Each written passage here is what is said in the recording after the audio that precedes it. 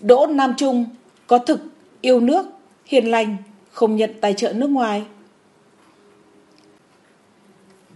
Ngày 6 tháng 7 năm 2021, Đỗ Nam Trung, sinh năm 1981,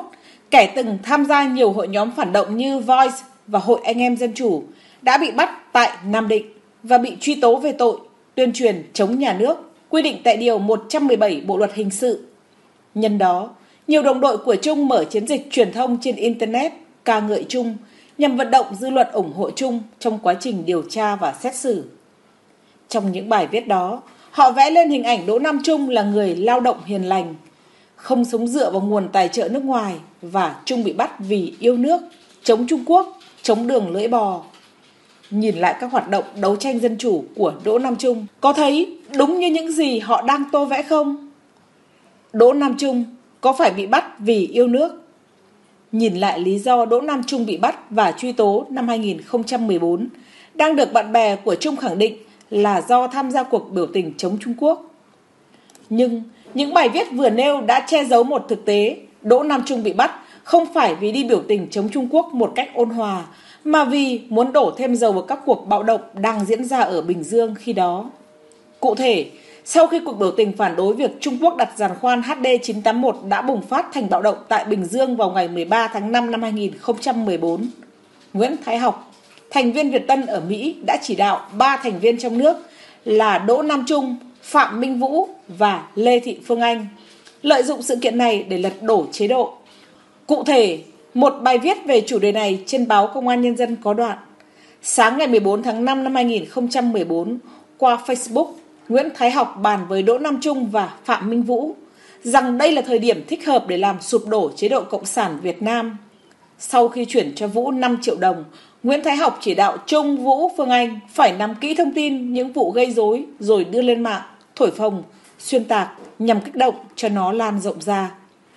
Cũng trong ngày 14 tháng 5 năm 2014, trên Facebook, Trung, Vũ, Phương Anh. Cho đăng nhiều bài nội dung kêu gọi kích động giới công nhân tiếp tục tụ tập, gây rối. Mà trong đó Đỗ Nam Trung nhận xét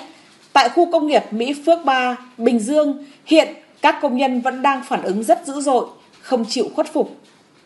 Và theo như Neko Kawa, một người bạn của mình tại hiện trường đưa tin tình hình đang rất căng thẳng, đoàn biểu tình đang bị đàn áp dữ dội tại Bến Cát, khu công nghiệp 3 Mỹ Phước, Bình Dương anh em công nhân đang kêu gọi những tổ chức bên ngoài cứu giúp.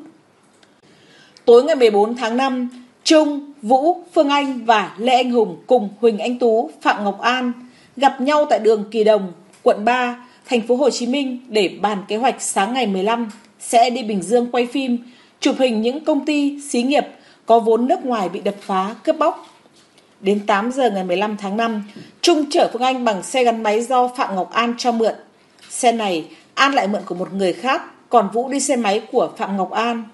Khi đến cổng khu công nghiệp Amata, thành phố Biên Hòa, tỉnh Đồng Nai, Trung, Vũ, Phương Anh đang tiến hành quay phim chụp ảnh các hoạt động gây rối của những kẻ quá khích trà trộn vào giới công nhân thì bị cơ quan công an tỉnh Đồng Nai mời về để làm rõ. Như vậy, hành vi của Đỗ Nam Trung vào năm 2014 vừa đi ngược với tôn chỉ đấu tranh bất bạo động mà các nhóm chống đối viện dẫn vừa có hại cho xã hội một cách rất rõ ràng. Nói rằng Trung bị bắt vì yêu nước chống Trung Quốc là bóp méo hoàn toàn bản chất của vụ việc. Đỗ Nam Trung không nhận tài trợ nước ngoài. Cáo trạng vụ án Đỗ Nam Trung bị bắt, bị truy tố năm 2014 ghi rõ Lê Thị Phương Anh và Phạm Minh Vũ đã nhận tiền từ nhóm Việt Tân và phản động lưu vong nước ngoài để vào Đồng Nai kích động bạo loạn. Quá trình chia tiền nhau trước mỗi vụ việc đều rõ ràng. Cơ quan công an tỉnh Đồng Nai đã thu giữ của Đỗ Nam Trung hai điện thoại di động mà Trung thừa nhận đã dùng nó để vào mạng Internet, phát tán thông tin, ba thẻ ATM với số dư tổng cộng 86 triệu 968 nghìn đồng, cùng 4 triệu 100 nghìn đồng tiền mặt, 103 USD. Lời khai của Phạm Minh Vũ Thông qua Đỗ Nam Trung và một số người khác, tôi đã nhận của Nguyễn Thái Học 5 triệu đồng, của Trần Bửu Thọ 200 USD, của Phước Xuân Nguyên 150 USD, Philip Dương 200 USD của Ngô Duy Quyền là chồng của Lê Thị Công Nhân, thành viên hội bầu bí tương thân 100 USD, nhận của Pha Lê Tuyết 1,9 triệu đồng, của Nguyễn Văn Đài 7 triệu đồng, cùng một điện thoại di động một máy chụp ảnh. Số tiền trên dùng để tiêu xài cá nhân, chi phí đi lại thực hiện hành vi phạm tội. Lời khai của Lê Thị Phương Anh Tháng 7 năm 2013, Lê Thị Phương Anh lập một tài khoản trên Facebook rồi cùng với Lê Anh Hùng trả lời phỏng vấn một số báo đài nước ngoài, vu khống nhà nước Việt Nam đàn áp nhân quyền, lợi dụng những cuộc biểu tình chống Trung Quốc hạ đặt trái phép giàn khoan HD 981 để tuyên truyền, kích động những người nhẹ dạ, đòi trả tự do cho những nhà dân chủ đã bị bắt vì vi phạm pháp luật. Phương Anh khai, để thưởng công cho những hành động này, Trần Biểu Thọ, Nguyễn Thái Học, Đoàn Việt Trung và một số người khác đã gửi cho tôi 2.378 USD, 100 euro và 43 triệu 977 nghìn đồng. Tất cả số tiền này tôi chi xài cho cá nhân hết. Khi bị bắt, cơ quan công an đã thu từ trên người Lê Thị Phương Anh hai điện thoại di động, một máy ghi âm, đều được dùng để vào mạng Internet phát tán thông tin, cùng một thẻ ATM có số dư 76 triệu 352 nghìn đồng có thể thấy, tiền chi mỗi vụ tác nghiệp của nhóm Phạm Minh Vũ được Việt Tân chi trả rất hậu hĩnh. Những kẻ hành nghề đấu tranh dân chủ chuyên nghiệp này đều mang theo mình gần 100 triệu mỗi người. Đủ thấy Việt Tân không chỉ dùng để chi lộ phí cho kẻ thực hiện mà sẵn sàng chi dùng cho mua chuộc công nhân bạo loạn. Lời khai và mối liên hệ, hành xử của cả nhóm này cho thấy rõ điều này. Đỗ Nam Trung có hiền lành nữa không? Nghe những nhà dẫn chủ mô tả Trung như một đứa em ngoan, tuyệt đối không thể là tội phạm, thì thấy thật khôi hài. Những biểu hiện của Trung trên mạng xã hội hoàn toàn trái ngược. Ngôn từ của Đỗ Nam Trung thường được biết đến như một thành phần trợ búa, tục tằn, đục đâu cũng chửi. Ví dụ tiêu biểu, hồi năm 2018, ngay sau phiên xử nhóm thành viên Hội Anh Em Dân Chủ, Trung đã công khai chửi đàn anh Phạm Văn Trội là kẻ cơ hội, luồn lách, chụp giật, kẻ bất tài nhưng háo danh và bắn máu anh em. Lý do là trội thành khẩn khai báo và rơm rớm nước mắt tại tòa nên được hưởng án nhẹ bằng một nửa những người còn lại.